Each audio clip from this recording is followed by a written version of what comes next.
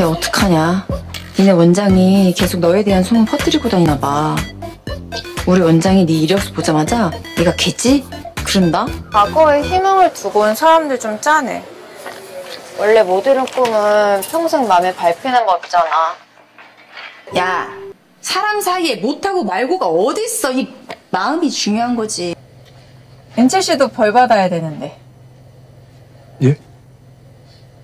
은철 씨도 침범했거든요, 제 마음. 벌금은 그때 그 통닭으로 퉁쳐드릴 테니까.